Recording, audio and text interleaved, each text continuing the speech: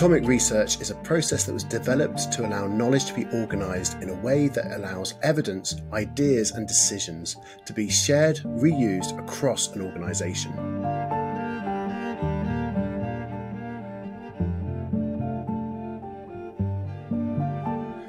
Solution ended up being fundamentally a useful way to think about and synthesize information. So, my name's Daniel Pidcock, and I'm the creator of Atomic Research uh, and the founder of Gleanly, a knowledge repository built around the atomic process. Um, I've been a UX designer and researcher for about 18 years now, and I've worked with large brands such as Just Eat, Clarks, Honda, and the Royal Navy, um, as well as startups and scale ups. So, I've seen a great deal of different teams and projects, almost all suffering from lack of institutional memory. Uh, and what I mean by that is most organizations don't know what they know. Teams do research to answer questions, and that information is rarely available for the rest of the organization. And even in the same team, they quite often forget what they already know. So this leads to a lot of wasted time, relearning the same things again and again, and often making the same mistakes again and again. And this is before we consider how much opportunity is being missed.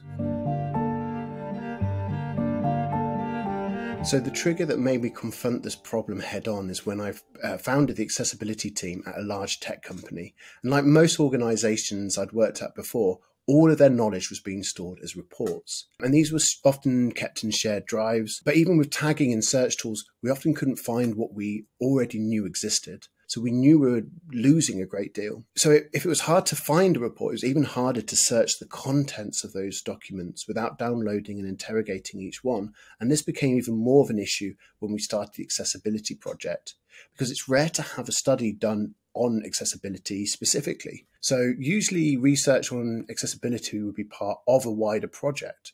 So we'd literally thousands of reports to um, crawl through. So then, even if we found something useful, reports contained a lot of context. So when we extracted the insights, that context was lost.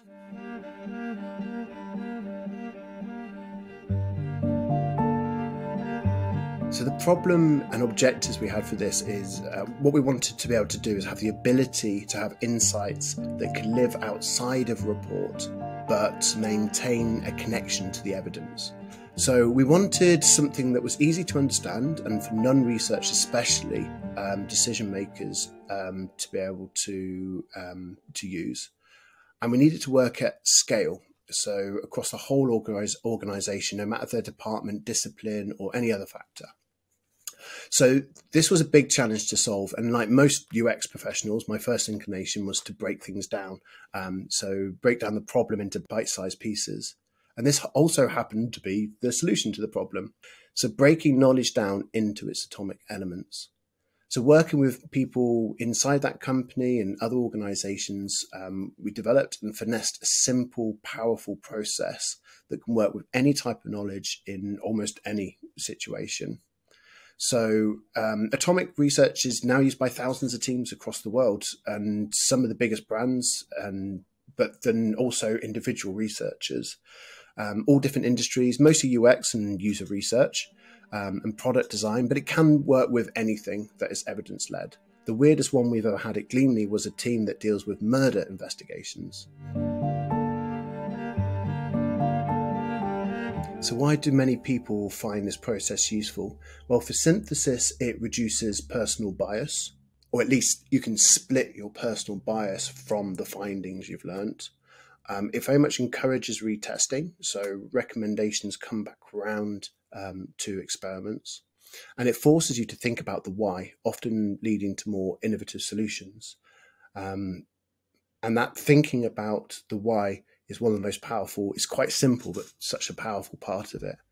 So it gives a good framework for non-researchers as well. So it's very easy to follow for people who haven't got research um, training. But for those that are trying to build a repository, it allows scale with low management. So this is what it was designed to achieve, right?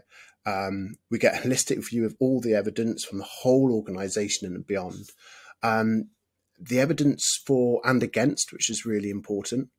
Um, a lot of uh, research repositories or reports quite often ignore the evidence against um, why we should do something. So, give a really holistic view allows people to make um, better decisions. Um, and it mo- allows us to move quickly with confidence, uh, encourages collaboration, and smooths out tagging issues.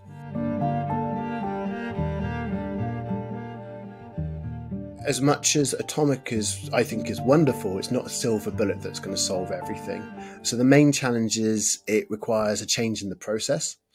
Not the tools or methods that are used to create the knowledge or even the initial analysis but the secret to better understanding findings and delivering it in a format that can be shared um, un- and understood and built upon by the whole organization starts at the synthesis stage so the reason this can be a challenge is it requires engagement. You can do your research and produce reports and then break it down into the atomic process afterwards, but this is painful and it takes extra effort.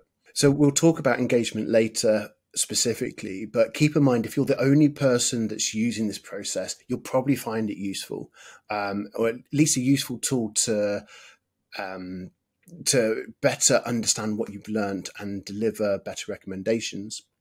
But if you want to build a shared single source of truth, you will need your colleagues and other people doing research to buy in and engage in the process too. The other thing to keep in mind is uh, it requires a change in the way you think. Um, I find most tools and processes are focused on helping the researcher and helping our lives uh, make our lives easier. Instead, what I ask you to think about is why we're doing this and who we're doing it for. We're here to discover, organize, and deliver knowledge for decision makers. And it might be that sometimes we are also the decision maker in this situation, but for most, there are other stakeholders and uh, people that are involved. So we're here, and the atomic research process is here to help people make better decisions.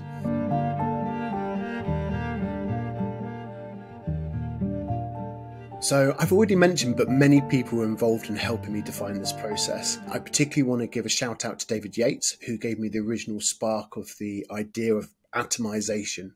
Um, Tomer Sharon has been a big thinker in this space and generally a wonderful person, so deserves a great deal of credit. And of course, uh, a great deal of inspiration came from Brad Frost and his atomic design process. So, if you haven't heard of it, atomic design allows you to break down a piece of UI into its atomic parts. Um, you know, all items are made out of these basic shapes and colors and text. These create atoms that can be brought together to create molecules. Um, and those can form organisms until we have an entire website, app, or whatever. So the similarity with what we were trying to achieve with knowledge was stark here and hence the nod to the process in the atomic research name. So, atomic research is a deceptively simple process with four distinct parts or atoms that create molecules of knowledge. So, it starts with experiments. This is what we did to discover the knowledge. And this can be anything from a large um, scale study to simply overhearing something on a bus, but it gives us context for the facts. And facts are what we learned. A good fact is a quote, an observation, or statistic, but it's never our opinion. Whereas insights are our opinion of why the facts are the way they are, and this is often the cause or the effect of the evidence, the connection between the fact and the recommendation.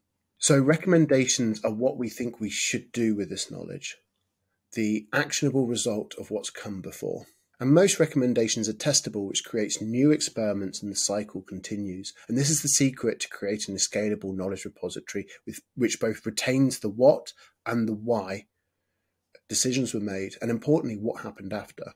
So each of these atoms connect together to create a molecule knowledge. And uh, actually, a lot of people call this a nugget due to the great work that Tomer Sharon did, who I mentioned earlier. But that simple process becomes really powerful when you see it from the perspective of each of those elements. So, what we're seeing here is a molecule or nugget from the perspective of a fact.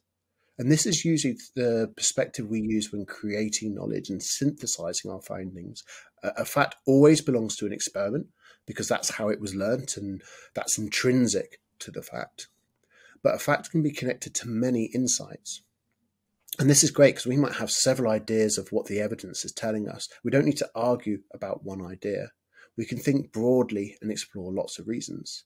It's also important that we can connect negatively to an insight. And that's what this red, um, this red dashed line represents. This fact is evidence for these insights and against this insight. So this is the perspective of an insight. You can see the, the insight is connected to lots of facts across several experiments, uh, and both have evidence that both supports and disproves our theory.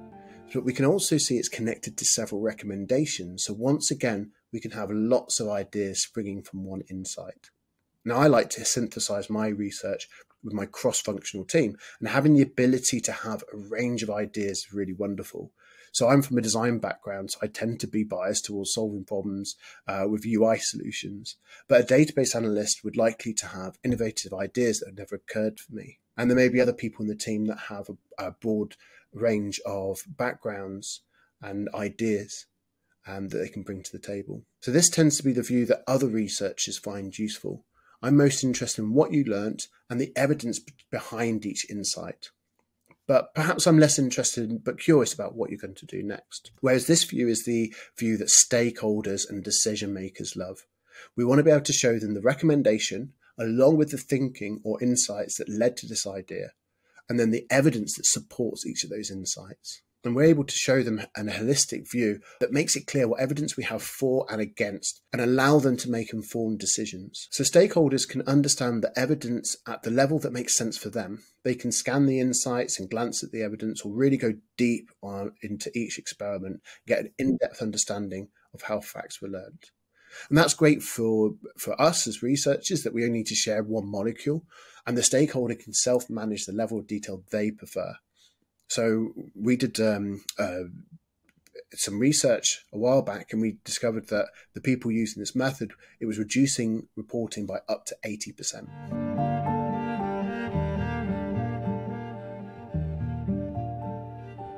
So let's talk about tools. The most simple and obvious way to get started is with good old sticky notes, either physically or using a tool like Miro digitally.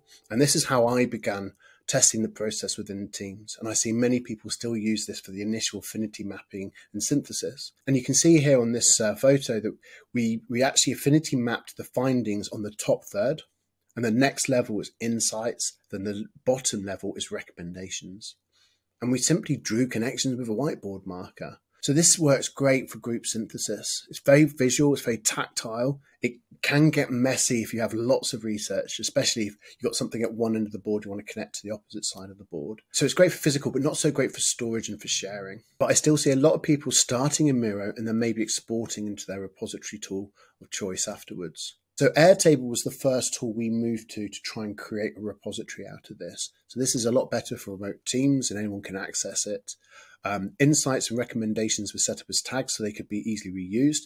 And it's very easy to see which were the most common. The issue we had with this, it was quite limited in scale, very easy to break, maybe not all that approachable for non researchers either. Um, but that said, there's a few Airtable bases set up that will get you started. This one is by Tomer Sharon, who I mentioned earlier.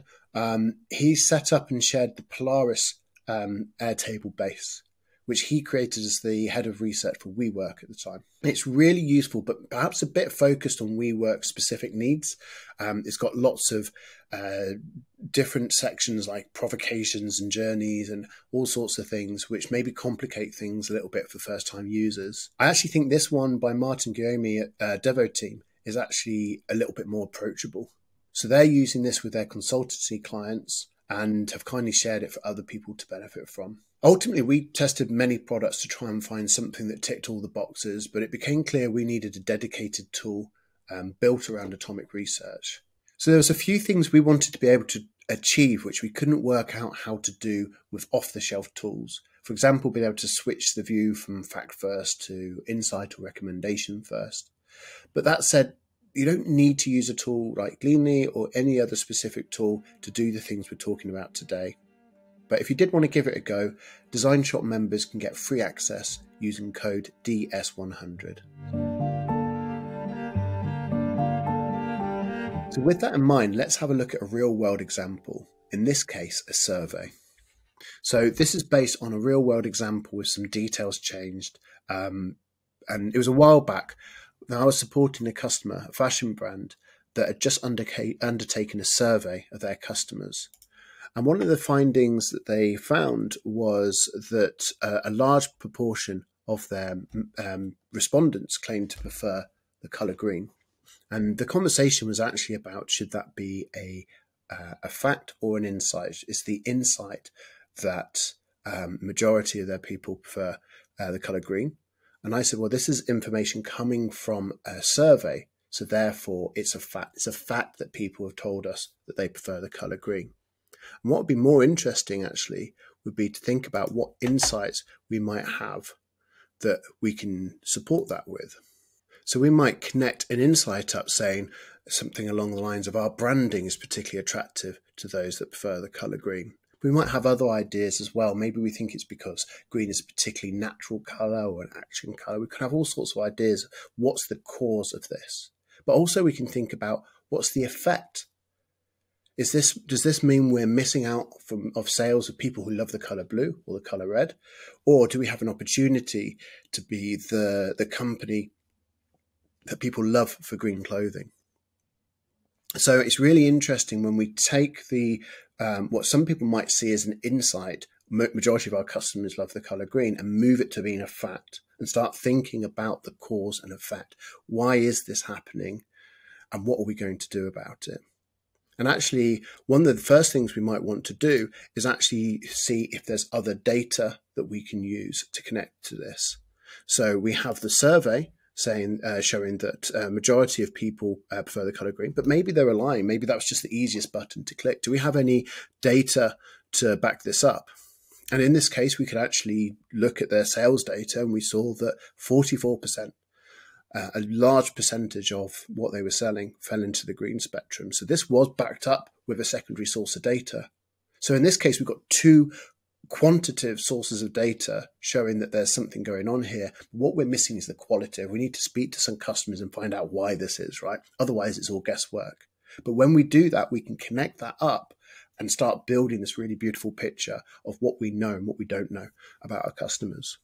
One of the things we decided to do straight away in that meeting was actually swap the image on the homepage, um, an A/B test with uh, a green, uh, some green clothing, and I can't remember the actual uh, feedback from that. I spoke to them about a month or two after, and they said they had a massive uplift when they changed that um, that um, that picture to green. I don't remember the exact percentages. Um, but it was wonderful that that kind of little discussion about whether this should be a fact or an insight actually turned into, first of all, really quite a profitable change for them with the homepage um, uh, image change, but also um, this whole kind of journey into discovery. So earlier I mentioned how important it is to remember why we're doing this and which is to allow us and other people to make better decisions. So let's take our time to think about and look at this from a perspective of a decision maker. So what we can see here is we want to offer free shipping on all orders. Okay, well that's very interesting, but what's what's the thinking behind this? So we know that users are leaving the checkout flow to find free shipping coupons, and a lot of those aren't coming back. Um, we can see that uh, shipping cost is a deciding factor to whether people are going to check out with us or not. So offering free shipping should in improve that, should increase that, right? But we've also got some um, negative connected insights here. So these may be reasons we might choose not to do this, or at least considerations um, that will help us make better quality decisions. So for instance, we can see here that if we add the shipping cost onto the onto the purchase price, onto the product price, uh, it's going to make us look uncompetitive. We're going to have to swallow that shipping cost if we want to do this properly. And it looks like there may be something happening in Italy where this might not might not work for them. Okay, well, those that's all very interesting, but do I trust? Do I believe um, these insights? What's the basis for these insights, for these assertions? Well, I can see here we've got eight different experiments supporting um, this shipping cost one and these come from all sorts of different sources. Uh, we've got um, different methods as well. So we've got user tests here. We've got some A/B tests as well. So we've got qualitative and quantitative, and I can actually read each one of these and find out what people are saying. So you can see here, you know, this person has left the flow to go and find a free shipping coupon, uh, whereas this person says they just find the, the lowest possible price uh, and they hope the post isn't too much. So for this person, giving away free shipping won't really um, affect them. They probably would have become our customer otherwise. But we can see here we've actually tested this in the real world, right? So it's that circle. We had this idea of doing free shipping, and now we've done an A/B test in the UK to find out if that's going to work. And you can see here conversion lifted by six percent. Um, there was an increase in cost of sales, which we would expect, right? We're swallowing that um, that shipping cost, so we're going to have someone's going to have to pay for that. But we can see the increase in sales more than made up for that loss. So that's quite a successful test there. And we can see here we tried it in France as well. Now, actually, the shipping cost was even more; it was 150k, probably because it's a bigger country. I would I would suspect, but maybe also because perhaps shipping is more expensive in France. Uh, that also uh, lifted conversion even more, and, and uh, the increase in sales was even more substantial. So that really worked. And now we can see we tried that in Italy. And we can see here something's gone really wrong, right?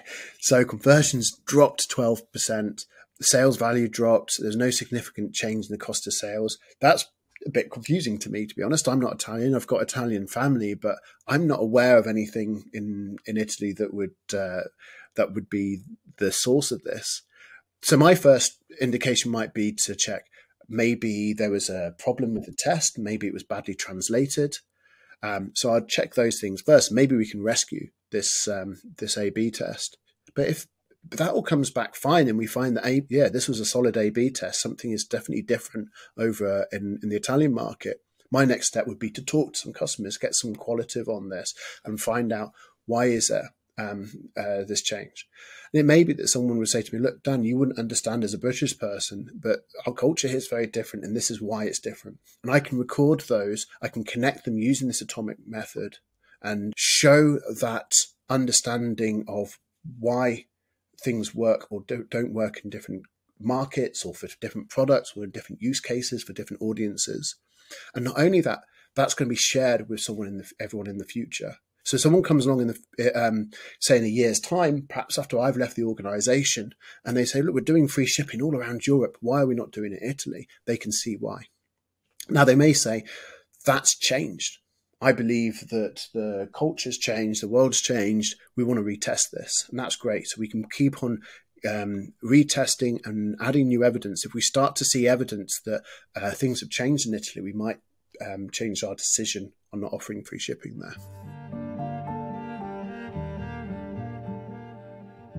So next, let's discuss how we can write really good quality facts, insights, and recommendations. And actually, before we do that, I want to approach something. I often tell people it's better to get poorly coded research into a repository than risk losing it. After all, if it's not there at all, it will never be found. So for traditional insight repositories that rely heavily on tagging and coding, this is a problem. If it's not tagged, it won't exist as far as the system's concerned. However, with Atomic, when we connect a fact to an insight or an insight to a recommendation, we're creating a relationship there, right? So you could say we're coding via stealth. So one thing I say regularly, it's one of the rare instances in this life where quantity is more important than quality. And maybe a way to think about that is if uh, putting in best practices and rules uh, make it less likely for someone to record something and therefore not make it discoverable by other people, it's worth relaxing those rules.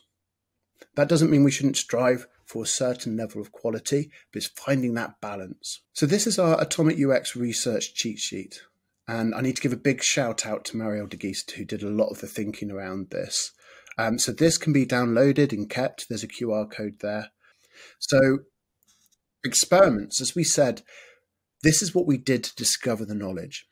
It's also the most commonly changed terminology. And changing terminology is absolutely fine by me, by the way. Um, you should use the terminology that's right for your organization and works for the people you're working with, right?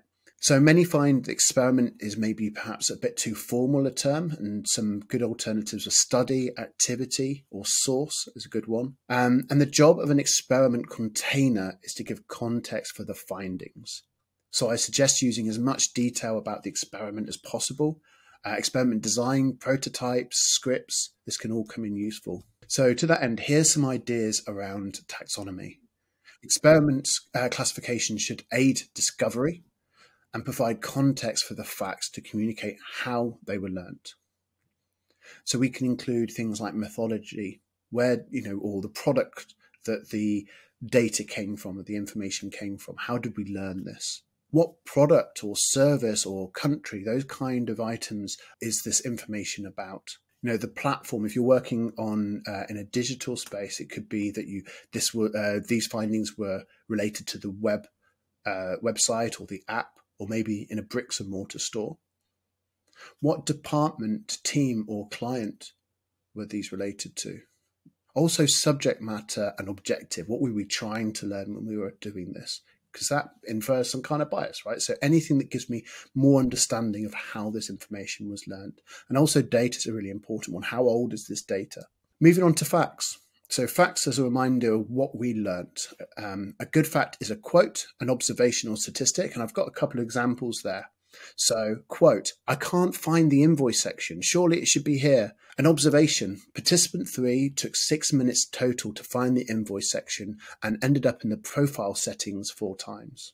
So sometimes I see facts where you can ask the question, How do you know that? So if I said the participant struggled to find the invoice section, I could ask the question, how do they know that? So it's quite good to write a fact in a way that is unbiased, that kind of someone can infer they were struggling to find the invoice section. Statistics 14% of support calls are clients looking for copies of their invoice. So they should be unbiased, they should hold no assumptions, they should be short enough to read in a few seconds, and they should have enough context to be understood by itself. And that short enough thing applies to everything from facts, insights, and recommendations. They need to be bite sized, right? If we think about the people who are going to be consuming this information, they need to be able to look at a fact and understand what that person was saying or what that person did or what the statistic um, information the statistic holds. So what happens if you have a really long fact? Now, the sometimes that is the case that you want to be able to break that down into separate parts maybe they're talking for a long time and within that we can summarize that down into a very simple line of that person really loves their dog or their cat or their pet but they may be in that conversation actually saying lots of small interesting bits we might want to divide those up this is atoms remember we're atomizing these findings so you have to take a view on that one thing to be cautious of, though, is if we are summarizing a long thing that someone said, is we need to be careful we're not going to introduce bias in there. If we say, oh, this person spoke at length about how much they love their pets, okay, well, is that what they said? Is that our inference of what they said? So we have to be careful about that. So let's talk about taxonomy. So the experiment tells us how it was learnt, i.e., moderated user tests, but the facts need to tell us who told us, the individual or the specific um, uh, information to do with that atom.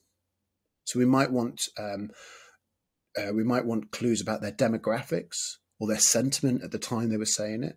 Where were they in the journey of the product or uh, in a physical location at the time?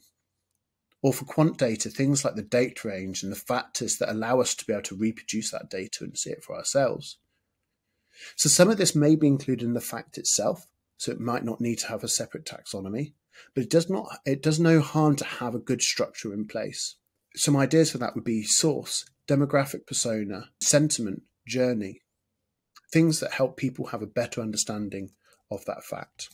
So now to insights. So an insight should try and include the context, the cause, and the effect of the evidence. So example here, the customer can't find invoice section in the footer because they see invoices related to their personal paid account rather than the product. That's the cause, what we believe to be the cause. And the effect is they end up calling the contact center for help. The insight is our opinions. So we might have several different ideas or different assertions of why what might be the cause or what might be the effect of this. And that's fine. We can have lots of different ideas. We can have opposing ideas. Our job isn't to be right. Our, our job is to find out what is right. Okay. And it may be that we have other evidence that supports one of these ideas more than the other, or we maybe we need to go out and find that evidence. And maybe that be part of the next step of recommendations. But just like fact, it should be short enough to be read in a few seconds, have enough context to be uh, understood by itself. Because remember, this isn't going to be shown necessarily in a report or in a, um, in the experiment. This may be held separately, and it needs to be reusable as much as possible. And therefore, it wants really clearly defined relevance. You know, what is this insight relevant to? Particularly if you're working on a prototype, it's really useful to say what this is um, uh, an insight that's based on version X, blah, blah, blah, or this is a an insight that's from a prototype. It's not at the actual live website. And we might find that that depends on how tactical or how much of a principal insight it is. And what I mean by that is a principal insight tends to have relevance to as, as wide audience as possible, maybe even to the whole organization. A more strategic insight has a fairly wide uh, remit, but is more helping us understand a subject. Um, whereas tactical may only be uh, relevant for that specific context at that specific time or that particular feature, or maybe even that just that prototype. So, insight taxonomy um, classifications should have context, type, and theme. So, one of the ones I really like to have is type. And what I mean by that is principal uh, insights, strategic insights, tactical, prototype, assertion, obsolete. These are also good ones. So, a principle is something that likely affects every part of our organization, whereas a strategic insight may be specific to a particular team or feature but guides our strategic thinking. A tactical insight is likely to be very specific to just that part of the experience, such as a position of a button. Um, but I also think it's uh, important to make it clear when the insight is specific to a prototype. This may not be something that's actually even on the live website. So we might also want to make it clear that this insight is an assertion or a hypothesis. What I mean by that is sometimes rather than starting from the evidence and working through to facts, insights, and recommendations, we might actually start with an idea and look backwards to see if we have any evidence for it. So if it's uh, actionable, we'd want that to be a hypothesis as a um, as a recommendation. So if we say, I think we should create a new feature, that's a recommendation as a hypothesis. If someone says, I believe our customers prefer green clothing to any other colors, that's an assertion. But we can we can have that assertion as an insight and, and market as such, and then look to see have we got any evidence to see if that's true. Also, we might want obsolete. So, for especially for tactical insights, if we say the button's in the wrong place and then we move that button, that insight's now obsolete, right, or completed. So, finally, recommendations a recommendation looks complicated because it's got five different parts, but it's really quite simple and not necessarily all parts are always necessary for every recommendation. So we have action, context, audience, benefits, and measurement. So let's just work through that. So in this example, we've got the action, move the customer invoice history to profile settings, and the context from the footer, the audience, so that customers benefit can find uh, find them better, which will measurement reduce calls to the contact center. So that would make a really good recommendation. We've covered off what we need to do. We've helped people understand uh, why we need to do it and what is the current situation. We've explained what's the benefit and also how we can measure that benefit so we can make sure we test that and we create an experiment and we come back around. You know, when we input that change in, we need to see has there been a drop off? Of um, support calls to the contact center about invoicing. So, like all three of the ones I mentioned before, these need to have enough context to be understood by themselves, uh, connected to relevant evidence both for and against. You know, it's it may be if you really want someone to undertake this recommendation, it's be easy just to miss off that inconvenient bit of uh, of data that kind of goes against it but it's our job to give a really good balanced view of like, this is why we think we should do this, but these are also reasons we might not, or considerations uh, if we do do this. A recommendation should be retestable and measurable as much as possible. I very rarely see an example where that isn't the case. And then when it comes to taxonomy, we want to give some idea of priority, ease, and status. So let's talk through um, taxonomy. So classifications uh, should provide context, status and prioritization. So status, here's a few examples. So like unactioned, we've got a recommendation here and it's waiting for someone to make a decision. Now they may make a decision that there isn't enough evidence. We need more evidence. So that would go back to research um, to work on. They may look at that evidence and go, mm, no, I'm not happy with this. Let's reject it. Or they might approve it. And once it's approved, then it needs to be picked up by someone to actually do uh, an action. Um, and then when that's finished, that would be completed. Once it's completed, we need to retest it. And just like with uh, insights where we had assertions, we might also want the mark of hypothesis to say this we started with this idea and we're looking for evidence to support or disprove this idea. And I think that's worth doing. It's not an idea that's come out of evidence, it's one that we're looking for evidence for. Now, the priority and uh, context, these were ones that would be very specific to your organization but things that are quite useful uh, impact, the confidence we have in it, the ease and effort it's going to take to actually do that. Unlike with uh, experiments where we might have marked it with team to say this is the team that undertook that experiment, in this case, we might say this is the team that we expect to pick up this recommendation and take it forward. Going back to that obsolete tag for insights, people often ask, this recommendation has been completed or this insight is in relation to something that's been changed, so is obsolete. Should I delete it? And my answer is always no. We should never delete anything. Our repository should be a record of what we know, how we are thinking or were thinking, and what we did. So if we delete anything, we, we lose that provenance and it will uh, cause people to have to relearn and make the same mistakes. And if something is no longer current, we can just mark it as complete or obsolete or some kind some kind of uh, tag like that, just to make it clear that this isn't still relevant. So the only exception to this, I think, is if maybe we have some data we find out is based, say, on an experiment that failed, or you know, let's say we ran an A/B test and we found there was a bug, like that example we looked at earlier in Italy. If that if that A/B test was poorly translated or was a bug in a test, then we can wipe that because that's no longer a fact. So we can just get rid of that. So what about an old um, research from a report um, or legacy information? Now, it'd be great to have all of that in your repository, but do we have to go through all our old reports and reformat it into Atomic? Well, I mean, that would be great. And if we could do that, we probably should. But in reality, it's a lot of work and it's probably going to be a barrier to getting your repository off the ground. I remember, you know, we, we want, we were saying before that it's better that research is there at all than in a perfect state. Quantity is more important than quality when it comes to a repository. So one trick I've seen um, I've seen used successfully, it's kind of like a shortcut, uh, perhaps using an experiment as a container for legacy research. And what we can do is actually add each report as a fact and make sure it's well tagged and discoverable. Um, and if possible, extract the key insights and link those back to the fact as a source. So if someone finds a study that was particularly useful, um, to what they're working on, that might be the trigger for them to properly extract the facts into a dedicated experiment. And in this way, the most useful research actually gets brought into your repository via osmosis. So let's talk about evidence score.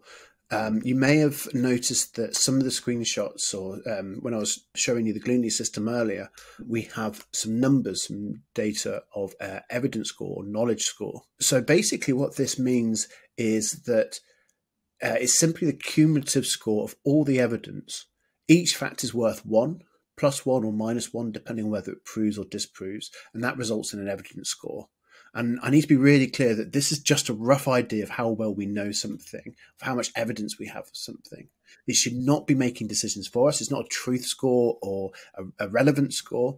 It doesn't tell him how tell us how important something is, just how much evidence we have for something. Sometimes we need a lot of evidence to make a decision, um, but for some things like bugs or uh, something like that, the likelihood is we, we really don't need much evidence before uh, before we we get uh, we get it sorted. So the likelihood is something really important never gets a chance for a really high score before it's sorted out. That said, I often see a correlation between an insight with a high evidence score and a principal insight uh, just simply because it affects every part of the organization. It's probably going to have a lot of evidence behind it. And the evidence score can come in really useful when we need to move quickly. So if um, if someone says, right, we've got a client coming in tomorrow, uh, the boss is on the way, I need a wireframe right now. I might not have time to do um, any research or read loads of reports but I still want to try and design with as much evidence as possible. So I can go into my repository and say, right, what do we know about this certain subject? Grab insights with a certain level of confidence. And those insights with a low score, I can ignore them um, entirely, or I can use them with the knowledge that there may not be enough uh, evidence to really um, support this properly. And that evidence may not be contextually relevant for my particular product or department or what I'm working on, my focus. So that that'll kind of be an asterisk, it'll be a, a pin to say, right, I need to retest these uh, and make sure that this evidence, these insights are actually true for what I'm working on. So, with that in mind, the evidence score is something not to worry about too much. Um, it's it's useful and it, it can give a, a, quick indication to how much evidence there is, but it isn't um, it isn't a decision maker. And be careful of treating as such. So, the most difficult thing with this approach, especially when trying to build a repository, is getting engagement. And of course, engagement in a repository is really key if people aren't using it and information isn't being stored in the same place. Um, it, that almost kind of encouraged less engagement. And I think this is something to think about, especially if you're working with uh, non researchers and they're going to be a big part of the input into repository. Um, well, I actually did um, some uh, a, a, quite a lot of research on this last year, and we found some really interesting things. So, what were the reasons uh, some organisations were struggling to get engagement from people? So, the first one is probably obvious, which is you know um, non researchers that are doing research they've got other jobs to be doing they're busy, they're learning this so they can do what they need to do. They've got the information, they just want to get on and do it. And they don't really have time or see the benefit in stopping and pausing and um, bringing that in.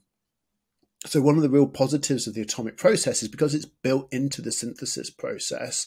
Um, if they're using it, they hopefully will find it as a useful uh, part of the research process.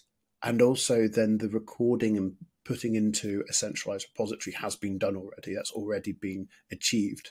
The second is that there can be a lot of fear about starting a, uh, a new process or learning a new process and, and learning a new product. So that has to be taken in consideration. But the final thing, which was the most of a surprise for me, it shouldn't have been, but it was the biggest surprise, and the one that probably the biggest factor, is we're asking people to put all of their research in a public place. Now, it might only be public within the organization, but we're always telling people how difficult our jobs are. Research is so complicated and we should get paid lots of money for doing it. And then we're saying, but, you know, put your research in front of all your colleagues so everyone can see it. So a lot of people were finding that they were just nervous about putting their work in, a, in a, an arena where other people were going to see it. Now, luckily, this is actually one of the easiest ones to, to address. And it was solved by addressing it just simply by saying, look, you guys, this might be uh, quite overwhelming and unnerving for you. And that's fine. That's natural, and uh, that's fine. Uh, you know, if if uh, if you're feeling that or you're struggling with that, come and speak to us, and, and, we'll help you with it, and maybe give you some confidence or some tips on how to improve the the research if you're not sure. So, one thing I didn't really understand when I started this is that I was thinking of this as a UX problem, as a UX thing. It's a UX repository, UX process, it's UX research. But it isn't, it's just knowledge.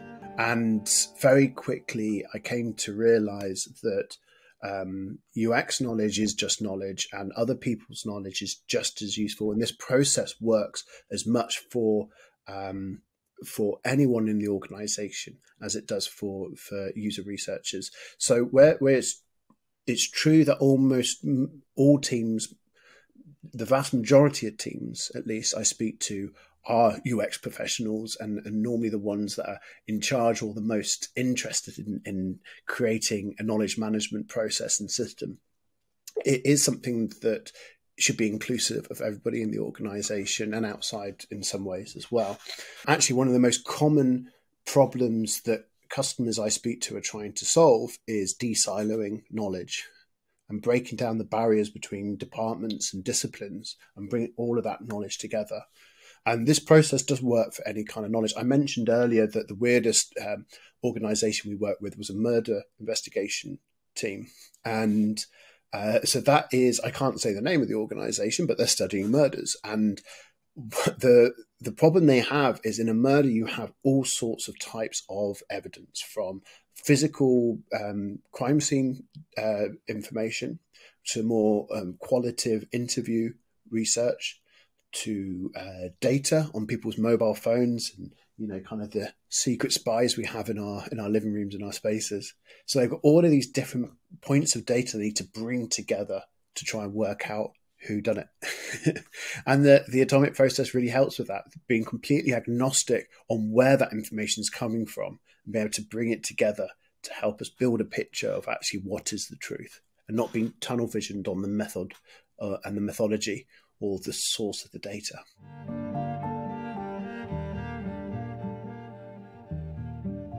From the beginning, the point that we overestimated was how important scoring the knowledge was. And as I mentioned about the, the knowledge score, it's something that can be useful, but uh, it's very easy to get super focused or hyper focused on the evidence score uh, in an unhealthy way. And actually, at Gleanly, we we developed a process. So at the moment, the score is just every factor is worth one, either plus one or minus one, whether it supports or disproves uh, the insight or recommendation. But we actually developed like an algorithm that balanced and weighted different um, types of research. Um, it also uh, balanced how old the evidence was. And it was fantastic. It was really effective. Um, it was too effective, so people got really focused on making sure that score was was perfect. And even worse, people started making decisions based on that score, and that was wrong. So we had to make the difficult decision to roll that out and uh, remove it from from the software. So we massively overscored. We spent a lot of time and wasted a lot of time um, trying to get this perfect scoring of knowledge, which just wasn't helpful. It's all contextual. I must use the word context a million times a day, right?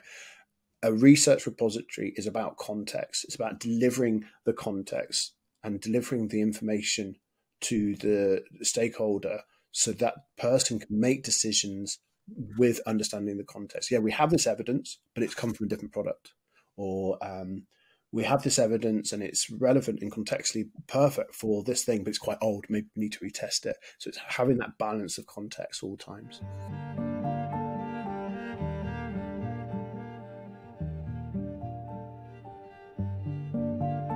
Yeah, one of the most interesting case studies was actually with one of the first organizations I worked with outside of that original organization where we developed this process. And I went there particularly to um, help them with their knowledge uh, management and trying this process in quite a large company. And at the beginning, we um, started collecting together uh, lots of different projects and breaking them down. And, and uh, because of the way that Atomic is is networked, it was very quickly clear that there was a pattern emerging one particular pattern of a problem that was coming up in maybe one in every three or four different experiments kept on bringing the same issue up. And when we um, we took that to the team that was actually affected by it. So the people who were doing the research weren't studying this thing. They weren't in the team affected by this thing. They were just recording that. So this is a tip as well you know um, just because it's not the thing you're recording still record it still um, keep that in your repository because it's probably going to help someone else right um, it's that quantity rather than quality thing.